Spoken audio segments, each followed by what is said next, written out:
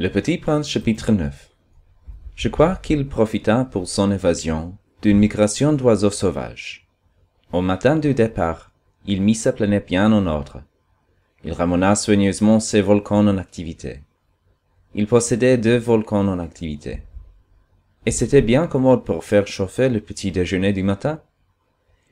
Il possédait aussi un volcan éteint. Mais comme il disait, on ne sait jamais. Il ramena donc également le volcan éteint. S'ils sont bien ramenés, les volcans brûlent doucement et régulièrement, sans éruption.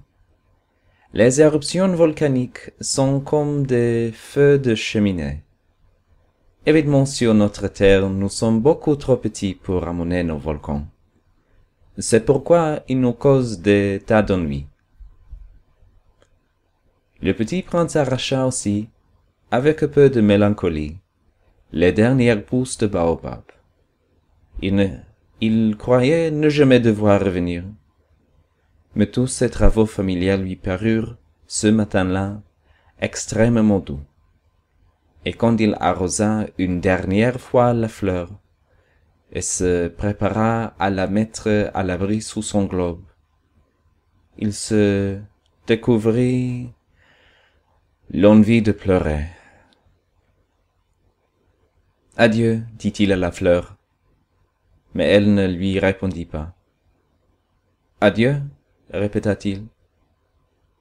La fleur toussa, mais ce n'était pas à cause de son rhume.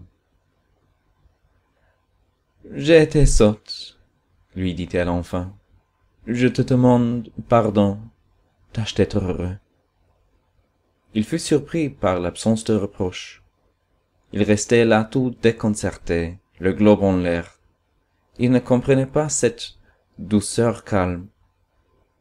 Mais oui, je t'aime, lui dit la fleur. Tu n'en as rien su, par ma faute.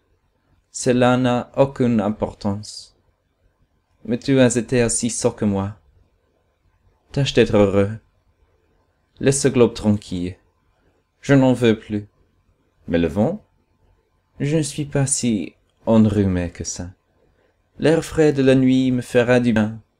Je suis une fleur. Mais les bêtes? Il faut bien que je supporte aux trois chenilles si je veux connaître les papillons. Il paraît que c'est tellement beau. Sinon, qui me rendra visite? Tu seras loin, toi.